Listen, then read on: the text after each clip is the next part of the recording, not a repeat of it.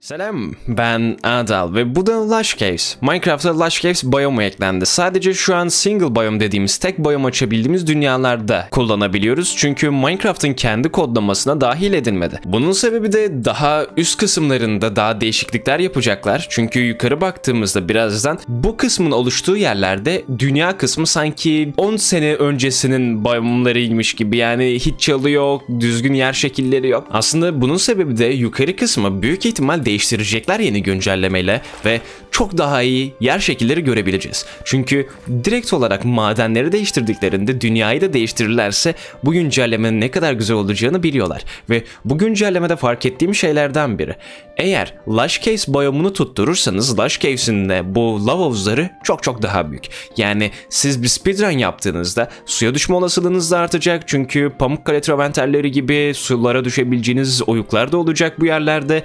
Bol bol lav da olacak. Yani speedrun yapmaya başladığınızda 1.17 zamanında speedrunlar apayrı bir hava alabilirler. Ve hatta speedrunlar dünya rekorları kısalabilir. Neden diye sorarsanız zaten eğer lav arıyorsanız büyük ihtimal kova yapmış olmanız lazım. Çünkü madene inip de bulmanız speedrun'ı yavaşlatacaktır. Kötü bir risk al- almış olursunuz aslında. Yukarıdan kazacaksınız. Normalde lavı burada bulacaksınız. Bu kadar bloğu kazmanız gerekirken siz bu bloktan düşeceksiniz. Tam mesela bu yere gelirken şuraya su falan koyacaksınız. Kovayla beraber. Buraya gelip de Nether portalınızı yaparsınız ve Nether'a gidersiniz. Buraya geldim ve bu şekilde. Hop atıyorum kendime ve hop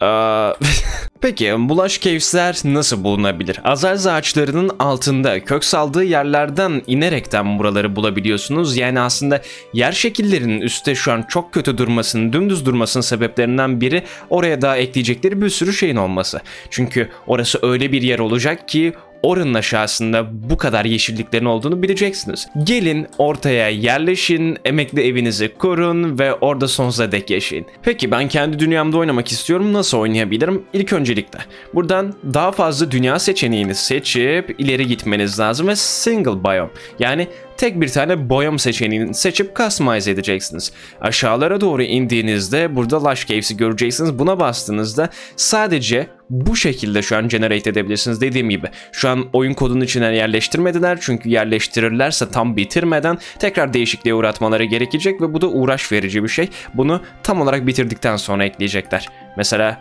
burada hemen bir dünya oluşturalım.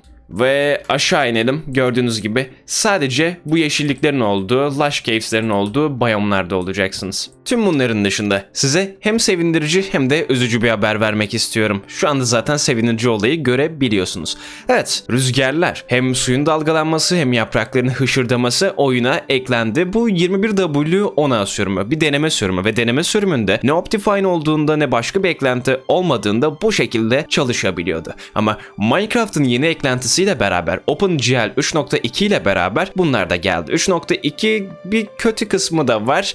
Ee, oraya birazdan geleceğiz ama bu şekilde hani normalde Optifine kullandığımda, shader kullandığımda ışıkların kırılmasıdır, güzel görünmelerdir, bu dalgalanmalardır bana resource pack soruluyordu. Bu mantıklı bir şey değildi ama artık mantıklı oluyor çünkü resource pack ile beraber artık bütün bunlar yeni teknolojiyle beraber Minecraft'ın kaynak paketi içerisinde olabiliyor. Ve benim kullandığım rüzgar efekti, Exalifian, Minecraft'ın geliştiricilerinden birinin yaptığı bir paket. Ve üzerine onun yaptığı belli bir paketi daha kullanırsam ne işe yarıyor bilmiyorum. Işıklandırma ile alakalı büyük ihtimal shader'larla alakalı ama şunun kötülüğüne bakın. Gidin App Store'dan, Play Store'dan çakma bir Minecraft indirin, oynayın daha da zevk alırsınız. Çünkü ben Mojang'ın bakın milyar dolarlık bir şirket satın aldım Mojang'ı. Milyonlara sahip bu şirket. En çok dünyada satan oyun bu ve adamların yaptığı şeyin denemelerine bakın ve optimizasyon çok kötü. Şu an fark etmiyorsunuz videoda belki ama benim FPS'im 5 kat düştü. Optifine ismi de aslında optimizasyonun optisinden geldiğinden oradan da optif ve define işte optimizasyon iyi anlamı taşıdığından İnsanlar buna OptiBet demiş. Optimizasyon kötü demiş. Sen Minecraft'ı yapan orijinal ekipsin. Nasıl orijinal olmayan ekipten daha kötü yapabilirsin. Çünkü Optifine tamamen e, sizin verdiğiniz 1-2 dolarla çalışan 3-5 doları attığınızda oley be yine bağış geldi diyen ufak bir kuruluş. Adamların gerçekten işi Optifine'i yapmak değil bir Mojang çalışanı gibi o Minecraft'ı optimize edelim demiyorlar. İşte bu adamlar daha iyi yapıyor ama Minecraft'tan. Yani belli bir süre yine Optifine kullanacağız ama yavaş yavaş bu teknolojinin hayatımıza girmesiyle beraber Minecraft hani hiçbir şekilde eklenti kullanmadan Optifine'ın önüne geçebilir. Tabi buranın şöyle bir kısmı var, kötü bir kısmı var. Eğer bilgisayarınız 5 FPS, 10 FPS'te oyunu oynatıyor, Optifine'ı indirmek istediniz. O zaman büyük bir sıkıntınız var çünkü eğer ekran kartınız yetersizse, işlemciniz yetersizse oyun artık açamayacaksınız. Çünkü OpenGL 3.2 teknolojisiyle beraber oyun buna izin vermeyecek. Sistem gereksinimleriniz yetersiz diyecek ve sizi oyuna sokmayacak. Sodium indirmeniz, Optifine indirmeniz birazcık sıkıntı ve bu da kötü tarafıydı. Gelelim bir başka değişikliğe. Deep Slate'ler. Deep Slate'lerin yukarıdaki kaplamaları, tekstürleri değiştirildi. Hatta yönleri de değiştirildi ama ondan önce. İki tane farklı Deep Slate görüyoruz. Aynı olmalarına karşın, gözükmelerine karşın değiller. Çünkü bazıları Silverfish'ler.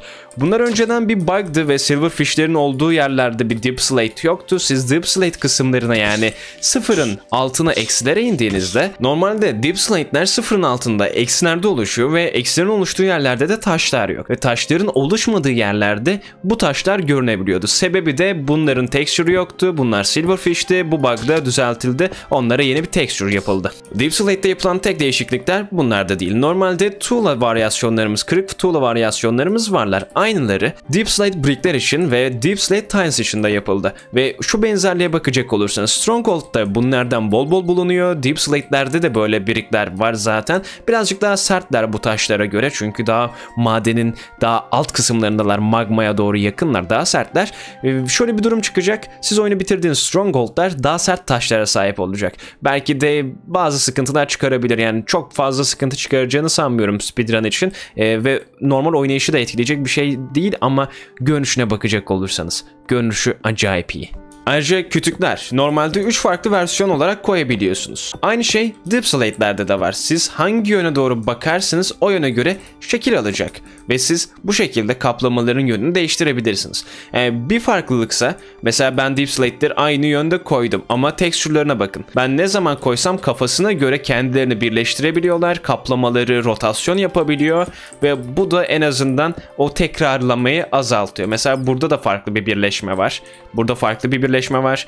Şu yanda farklı bir birleşme var. Her koyduğumda rotasyonu kendi açısından değişiyor. Bunların dışında Cobalt Deep Slate'ler siz Deep Slate'i kazdığınızda elinize gelen versiyonuydu. Onları ısıttıktan sonra normal Deep Slate elde edebileceksiniz. Madenlere gelecek olursak demir çok çirkindi geçen haftalarda tekrardan değiştirmişler ve burada önemli olan 3 tane maden var.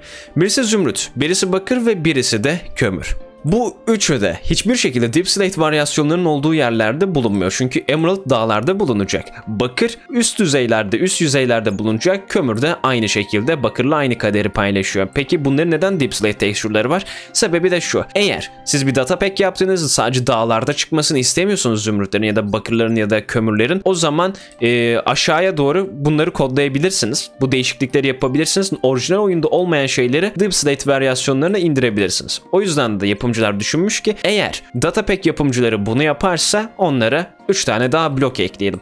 Yani tüm hepsinin Deep Slate varyasyonu var ama bu üçünün Deep Slate'de normalde çıkma şansı hiç yok. Ayrıca Spyglass'ın texture değişmiş. Çok daha böyle piksel tatlı bir görünüşe sahip olmuş. Normalde biraz kübümsü garip bir duruşa sahipti. Bu da ayrı bir tatlı. Bu arada geçen hafta Snapchat gelmemişti. Nedenini merak ederseniz bir video yaptım bunun için. Dağlar geldi, Bedra geldi ama o da tam olarak sürüm sayılmadığından, Java sürüm sayılmadığından ayrı bir şekilde incelemiştik. RTX açık bir şekilde dağların ne kadar görkemli gözüktüğünü görmek istiyorsanız, izlemek istiyorsanız videonun bundan sonraki kısmında dağları koyacağım, eski videoyu koyacağım. O zaman şimdiden izlediğiniz, destek verdiğiniz için çok ama çok teşekkür ederim. Umarım hoşunuza gitmiştir. Umarım zevk almışsınızdır, eğlenmişsinizdir. O zaman başka bir Snapchat'ta başka bir haftada yeni bir eklenen güncellemede görüşmek üzere. Kendinize iyi bakın. Hoşçakalın. Görüşürüz. Hey, selam ben Erdal ve bunlar da Mustafa Sandal'ın dediği gibi dağlar ama yerinden oynamıyorlar. Bu videoyu hızlı çekmem lazım çünkü bilgisayarım hızlıca patlayabilir. Şu an RTX teknolojisiyle beraber Bedrock sürümündeyiz çünkü Bedrock sürümüne daha yeni dağlar geldi, Java'ya gelmedi. Bunun sebebi de Microsoft'un pazarlama sistemlerinden bir tanesi. Çünkü eğer Bedrock böyle çok can alıcı noktalarda güncellemeler getirirlerse insanları da çekecekler. Bedrock'ta ne var? Microtransaction'lar var. Bunlar neler? Oyun içerisinde küçük küçük minnak minnak satın almalar ve böylelikle de siz oyunda baya baya hani böyle şekilli şukullu görünebiliyorsunuz. Mesela ben yine normal karakterimi aldım. Ekstra hiçbir şeyim yok. Onun dışında şu tatlı, şu güzel manzaraya bakın. Her şey çok güzel. Her şey yerli yerinde. Burada emeraldlarımız var. Şöyle baya baya fazla var. Burada sularımız var. Güzel bir dağ havası. Şimdi şöyle bir şey var. Dağları biliyorsunuz. Eklenmeden önce bazı detaylar paylaşılmıştı. Ben Netrite giyersem evet çok güçlü olabilirim, sağlam olabilirim. Fakat yanlışlıkla belli bir yerde kayıp karın içine de gömülebilirim. Şu an bu karlar gayet normal düz karlar ama bazı karlar çok ufak detaylarıyla beraber toz oluyorlar. Ve siz de bu tozlu karların içerisine batabiliyorsunuz. Yani ben burada dağların etrafında dostum yani Everest'te de tırmanmazsın bu şekilde ya. Oğlum senin kolların nerede? Anlaşılan burada batabileceğim bir kar yok. Evet burası dağlar kısmı. Ölümcüller içerisinde bol emerald bulabilirsiniz. Çünkü yeni güncellemeyle beraber söyledikleri şeylerden biri emeraldlar. Dünyada çok fazla bulunmuyordu ama yeni güncellemeyle beraber siz dağlarda ne kadar daha yükseğe çıkarsanız emerald o kadar fazla bulunacaktı. Yani ben burada bir yerde kazı yapmaya başladığımda bol bol emerald bulabilirim. Mesela burada hemen duvarda var. Burada da var. Direkt olarak dışa vurmuş şekildeler. Yani hava alan şekildeler. Yani sadece dağın derinliklerini kazıp da bulabileceğiniz şeyler değiller. Burada da birazcık emerald var. Onun dışında birazcık da demir vesaire görebiliyoruz. Başka madenler de burada olacak ama emerald kadar olmayacak. Demir ve kömür var burada ama bunlar çok çok azlar.